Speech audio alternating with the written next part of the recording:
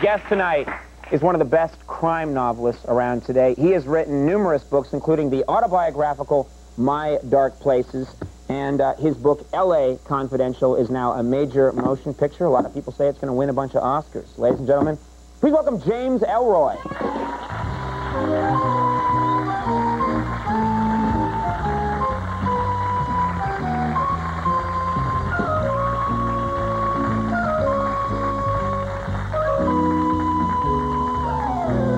Okay, great.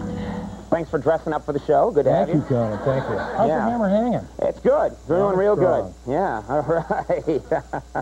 You're creeping me out already. I like it. I We're like not it. we're not seven seconds into the interview, and you come walking out here in your crazy hat and your weird attitude, and I'm loving it. This is a show, Conan, for the whole family.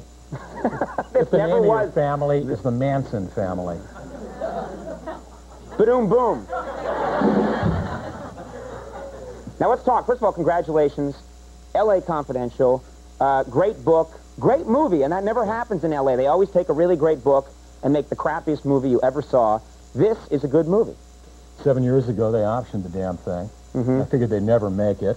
If they did, I figured they'd screw it up past redemption, Mm-hmm. and I should keep my mouth shut because I sold the film rights. Mm-hmm. Now I'm in the enviable position of being able to go out and endorse the hell out of this thing. Because it's a good movie. You, you like it. You don't have to sell your soul to endorse this movie. I did sell my soul, but they retrieved it for me when they executed this movie so well. All right.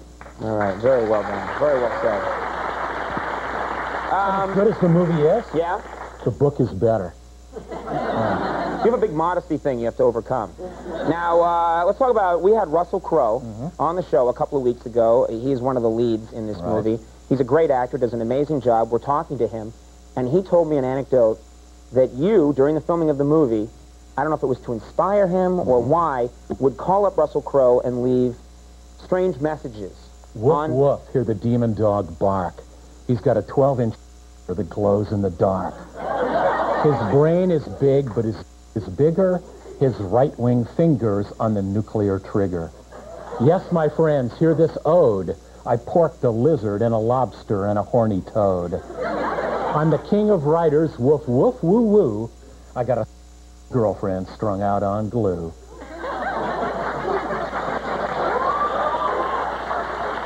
Russell Crowe You realize, by the way, that tonight when people watch the show, that's going to be one long beep. it's going to be like, yeah, I'll tell you what it is. There's an It'll last exactly a minute. There's an R-rated version of that. That's okay. I think we just heard it. Uh, now you're getting famous now. Yeah. Uh, and uh, of course, your fame has been growing in stages, but now with a, a movie that will probably rack up some uh, some Oscars behind you, are you getting groupies?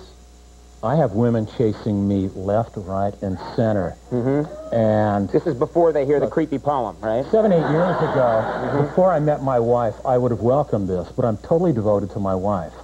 And my wife has a way of dealing with these women. Mm-hmm. She puts the hex of the cougar woman on them, the flying paws of death.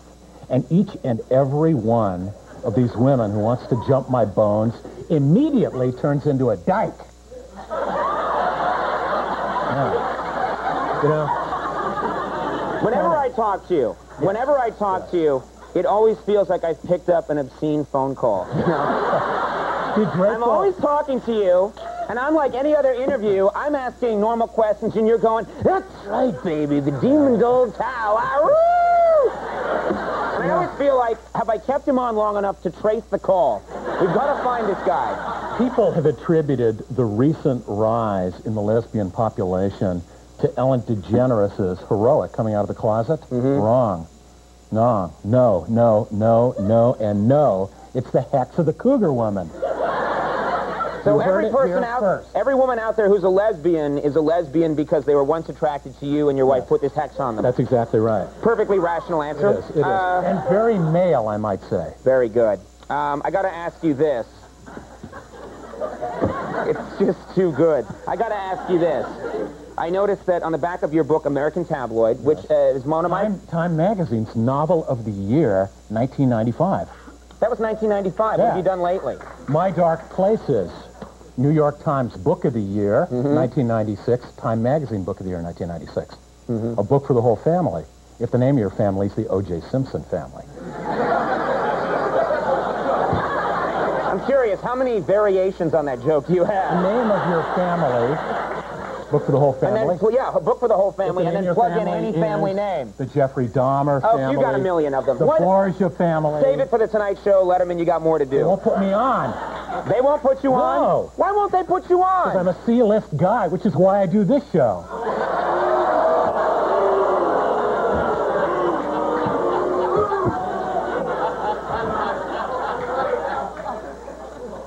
I have supported you Go ahead. Go for three years, Three and a half, Donna. three and a half. I every time you have a novel out, I put you on the show and talk to you. Yeah. You come out here, you talk like a freak.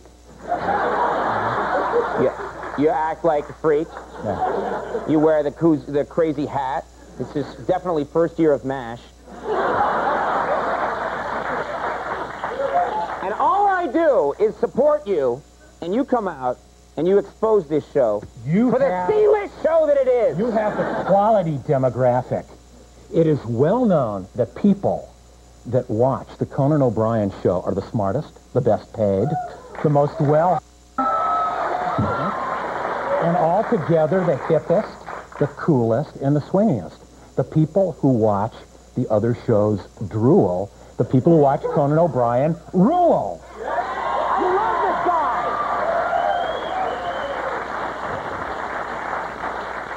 guy. You are the greatest man who ever lived, in my opinion. My Dark Places, which I, I you know, I've read all your books. The Who only else guy, reads the books? only guy I read the reads books, because I have nothing better to do. My Dark Places and LA Confidential are in bookstores now. Um, you're welcome back anytime. My pleasure. Uh, talk to Wardrobe next time before you come out. you know what this thing's made out of? What's it made of? the top-dyed pubic hair of one breed of yak indigenous to one mountain in the Himalayas. $87,000 retail. You know what I love? I didn't learn my lesson. You asked me, you know where this sweater's made? And I said, where? That's the best part. Thinking he's going to say, I don't know. I think Scotland. But it feels good. All right, uh, James Ellroy, it's always uh, one of the more compelling uh, interviews uh, in television. Thanks so much for coming back. Don't bite. We'll take a break. Stick around.